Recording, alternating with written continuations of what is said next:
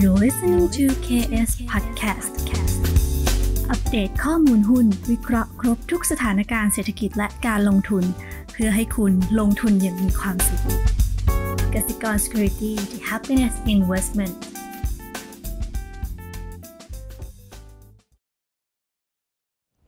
สวัสดีครับมาพบกับพี่พิสุทธิ์กันครับ วันนี้เรามีการเอ่อต้องเรียกว่า advance มีการรายงานผลประกอบการนะครับและเห็นครับบอกพี่พิสุทธิ์บอกว่ามีการพูดคุยกับทางผู้บริหารด้วยเรื่องตัวเล็กน้อยครับนะครับอืมอะเชิญเลยครับอ่าครับ ก็เอางบก่อนแล้วกันนะครับอืมงบออกมาก็ตรงกับที่เราคาดไว้ครับนะครับถือว่าใกล้เคียงนะครับ แล้วก็แต่ถ้ามองไปข้างหน้าเนี่ยดูแล้วไม่ค่อยน่าตื่นเต้นเท่าไหร่อืมนะครับอ่าทางกสิกรไทยเราก็เลยยังให้เป็นแค่ถืออืมครับนะครับราคาเป้าหมายยังอยู่ที่ 188.78 บาทนะครับต่อหุ้นนะครับผมจะพูดประมาณสัก 3-4 เรื่องนะครับครับผมอ่าเรื่องแรกพูดถึงเรื่องงบก่อนกำไรสุทธิออกมา 7,164 ล้านบาทนะครับถ้าเราดูก่อนที่จะใช้ TFRS 16 เนี่ยจะอยู่ที่ 7,419 นะครับแล้วก็ถ้าหักไอตัวเอ่อกำไรจากอัตราแลกเปลี่ยนออกไปเนี่ยเอ่อกำไรปกตินะครับก่อน TFRS 16เนี่ยจะอยู่ 7,247 ครับ อันนี้เนี่ยลดลงประมาณ 1%นะครับทั้ง year on year แล้วก็ quarter on quarter นะครับแล้วก็ประมาณ 2%ต่ำกว่าที่เราทำไว้ครับผมว่าไม่ได้มีอะไรผิดปกติอืมนะครับมาดูในเรื่องที่ 2 มาดูดีเทลนิดหนึ่งนะครับในแง่ของรายได้มือถืออรายได้มือถือเนี่ยยังอ่อนแออยู่ นะครับยังลดลง 9%จากปีก่อนนะครับนั่นเป็นเพราะว่านักท่องเที่ยวหายไปครับเศรษฐกิจแย่ลงนะแต่ถ้าดูแล้วแล้วถ้าดูไตรมาสต่อไตรมาสเนี่ยก็ยังลดลงอีกประมาณสักเกือบ 1%ครับอ่าซึ่งอันนี้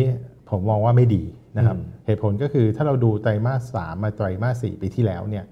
จริงๆปกติไตรมาสสี่มันเป็นไตรมาสที่จับจ่ายใช้สอยครับ นะครับแล้วก็จะเป็นหน้าไฮนะครับของตัวรายได้มือถืออมนะครับดูอย่างไตรมาสสี่ปี 19 ก็เห็นครับนะครับอ่าก็เอ่อไตรมาสสี่ปีหนึ่งเก้าอาจจะเจอเรื่องของการแข่งขันนะครับไตรมาสนี้ก็โดนเรื่องการแข่งขันด้วยเช่นกันนะครับแล้วก็โดนเรื่องของเอ่อมาตรการรัฐนะครับที่ออกมาเรื่องของการสนับสนุนการอุดหนุนครับนะครับการใช้มือถือนะครับเอ่อรายได้ก็เลยยังติดลบอยู่ นะครับไตรมาสต่อไตรมาสนะครับเอ่อในแง่ของจำนวนลูกค้านะครับเพิ่มขึ้นประมาณ 5 0 0 0 0นซึ่งถือว่าดีมากนะครับจาก 3 ไตรมาสก่อนหน้านั้นที่ติดลบมาโดยตลอด แต่อย่างไรก็ตามเนี่ยตัวรายได้เฉลี่ยต่อเลขหมายหรือ ARPU เนี่ยลดลงประมาณ 1%จากไตรมาสก่อนนะอันนี้ก็เลยทำให้ตัวรายได้เนี่ยยังลดลงประมาณ 0.6%ครับดูกับ d t แทนะครับที่เพิ่งประกาศงบออกมาก่อนหน้านี้เนี่ยอืมเอ่อทรงคล้ายๆกันนะครับก็คือเออตัวลูกค้าโต ARPU ลดครับรายได้ลดอืมแต่ d t แทเนี่ยแย่กว่าครับนะครับก็คือ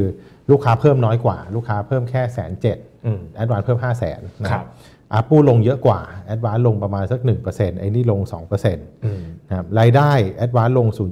0.6% DTAC ลง 2%ครับไตรมาสต่อไตรมาสดังนั้นเนี่ยอ่าถือว่า DTAC ถือว่าฟื้นตัวช้านะครับเงินปันผลนะครับ ADVANC มีการประกาศจ่ายเงินปันผลออกมาที่ 3.68 บาทต่อหุ้นสำหรับครึ่งปีหลังนะครับอ่ารวมกับครึ่งปีแรกนะครับที่ 3.24 บาทต่อหุ้น คิดเป็นเงินปันผลทั้งปีเนี่ย6.92 บาทต่อหุ้นครับนะครับอันนี้ถือว่าเอ่อก็ถือว่าดีนะครับเอ่อเงินปันผล 6.92 บาทต่อหุ้นเนี่ยคิดเป็น 75%ของกำไรนะครับซึ่งสูงกว่าขั้นต่ำที่เขาสัญญา สูงกว่านโยบายการจ่ายเงินปันผลของเขาที่ 70%อืมอันนี้ผมว่าตลาดน่าจะมองเป็นบวกครับนะครับ แต่ถ้าเราดูลึกไปอีกนิดนึงนะครับเอ่อไอ้75%เนี่ยผมมองว่าส่วนใหญ่เป็นเรื่องของทางบัญชี เพราะว่าถ้าเราดึงตัว IFRS 16 ออกเนี่ยมันเท่ากับแค่ 70%ของกำไรก่อน IFRS 16อืมนั่นหมายความว่าตัว IFRS 16 เนี่ยทำให้กำไรมันลดลงครับแต่เขาพยายามที่จะจ่ายปันผลให้เท่าเดิมอืมนะครับนั่นคือ indication ของบริษัทนะ ครับดีเวเดนยิวนะครับปีที่แล้วเนี่ยประมาณสัก4%อืมนะครับมองไปข้างหน้านะครับครับ guidance ก็ถือว่าดีกว่า d t แทนะพอสมควรนะครับรายได้คาดว่าจะโตนะครับ1-3%เทียบกับ d t แทที่จะติดลบ 1-3%นะครับ EBITDA นะครับกำไรจากการดำเนินงานที่เป็นเงินสดเนี่ยโต 1-3%เทียบกับ DTAC ที่ติดลบ 1-3%อันนี้อยู่บนมาตรฐาน AFI 16 เหมือนกันครับนะครับคาเปกนะครับลดลงนะครับเอ่อ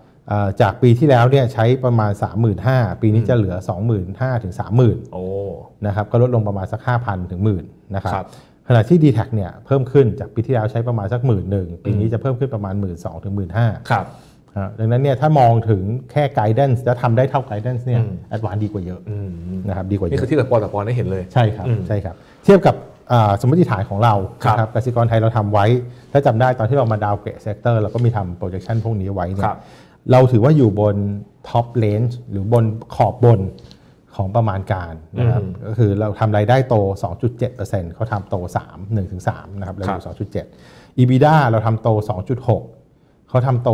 1-3ดังนั้นเราอยู่ขอบบนทั้งสองอันอืมนะครับเอ่อเราคิดว่าจากตรงนี้ไปเนี่ยไม่ต้องปรับอะไรอืมหลังจากที่เพิ่งคุยกับ management มาก็ครัมีบ analyst meeting นะครับเมื่อเช้าอืมนะครับเมื่อสักครู่ที่ผ่านมานะครับ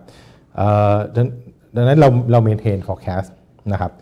เอ่อโดยภาพรวมนะครับก่อนที่ไปสรุปเนี่ยขอ brief up ตัว management ที่คุยกันเมื่อกี้อ่าได้เลยครับคำถามส่วนใหญ่เนี่ย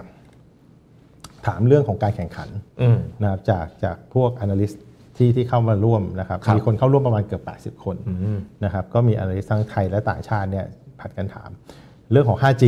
ครับนะครับเรื่องของ NT อืม นะครับอ่าแล้วก็เรื่องของ CAPEX ครับนะผมว่านั่นคืออาคำถามหลักๆ ที่เข้ามานั่นแสดงให้เห็นถึงอะไรแสดงให้เห็นถึงว่า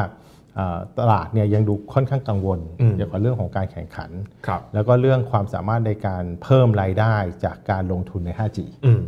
นะครับอ่าผมว่าก็เป็นอะไรที่ก็สมเหตุสมผลนะอืมที่ตลาดจะกังวลนะคครัรับบอ่าเราเรามองอย่างนี้ว่าถ้ามองไปข้างหน้าเนี่ยมองปีนี้เนี่ยโอกาสที่รายได้จะโตเนี่ยค่อนข้างเหนื่อยอืม นะครับเพราะว่าถ้าดู EBITDA ถ้าโต 3%เนี่ย EBITDA มันจะโตประมาณสัก 2,800 ล้านโหพี่พี่สุดธุรกิจอื่นนี่เขาโตแบบสิบยี่สิบเปอร์เซ็นต์ธุรกิจนี้คือผมเห็นพี่พูดด้วย3% 3%สองจุดเจ็ดเปอร์เซ็นต์มันมันอิ่มตัวไม่มโอเคตัวโอเคแล้วมันไปต่างประเทศไม่ได้ไงเออมันก็อยู่แต่ในเมืองไทยแล้วคนอืมมันก็ใช้กันกระหน่ำนะอืมเอ่อคนอัปเกรดเป็น 5G ก็ไม่เยอะอืมนะครับก็เนี่ยโตประมาณตาม GDP 3%เลยอะอ่าอืมก็3%เนี่ยประมาณสัก2,600 2,700 ล้านนะครับอืม แต่ค่าใช้จ่ายไอ้ตัวค่าเสื่อมที่เกิดขึ้นจากการกับใบอนุญาตเนี่ยมันจะเยอะครับเราคำนวณว่าประมาณ 3,000 ถึง 4,000 รวมถึงเงินลงทุนใน 5G อืมดังนั้นเนี่ยถ้าเขาไม่มีมาตรการอื่นมาลดต้นทุน